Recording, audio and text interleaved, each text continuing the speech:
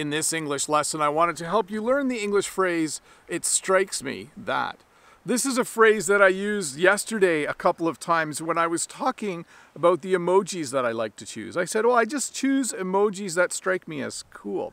When something strikes you, when you describe something as striking you in English, li it literally means something hitting you. You know, a ball can strike me in the face. Hopefully that doesn't happen. But when something strikes you in the way that I used it, it means that you notice it or you've decided that it's cool. So I pick the emojis based on ones that strike me as cool, ones that I notice are cool, or ones that I just think are cool when I see them. So they strike me as being cool. The other phrase I wanted to teach you today is the phrase to strike a balance.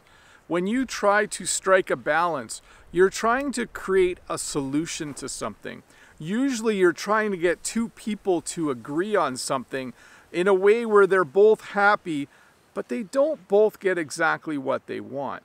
Sometimes there's three cookies and I have five children that want the cookies. So in order to strike a balance, I cut the cookies in pieces and everyone gets a half and then I get a couple cookie halves too. But anyways, I'm not sure my math there is correct, but I think you understand what I mean. When you strike a balance, if I wanted to strike a balance, I create a situation where everyone gets some of what they want, but not exactly what they wanted, and hopefully everybody's happy. So to review, when something strikes you, it can be something that physically hits you. Like if my uh, one of my kids kicked a ball at me, it could strike me in the head. But it can also be used to talk about something that you've noticed. Um, it might strike you as a little bit funny that there are goats behind me. I'm not sure you can see them today. Is that a goat right there? It might be. I know some of you noticed them yesterday. And of course, the phrase to strike a balance means to create a situation where everyone gets a little bit of what they want, but not exactly what they wanted, but hopefully everyone's happy. Hey, let's look at a comment from a previous video. This is a comment from Judith. And Judith says, thanks a lot, cameraman. My response was, you're welcome. My camera moving skills are great when I want to show something, but not so great when I want to put the camera back in the exact spot I took it from. This time it went quite smoothly.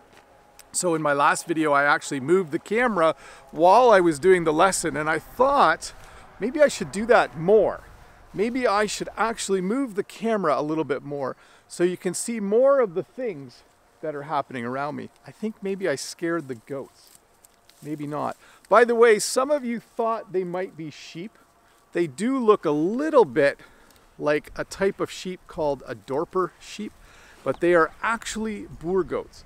They are originally from, um, well, these aren't from South Africa, but the breed is originally from South Africa, and we usually keep about five or 10 head of boer goats on our farm, uh, because if you look over here, we have a bit of land that we can't use for anything else because it's very hilly.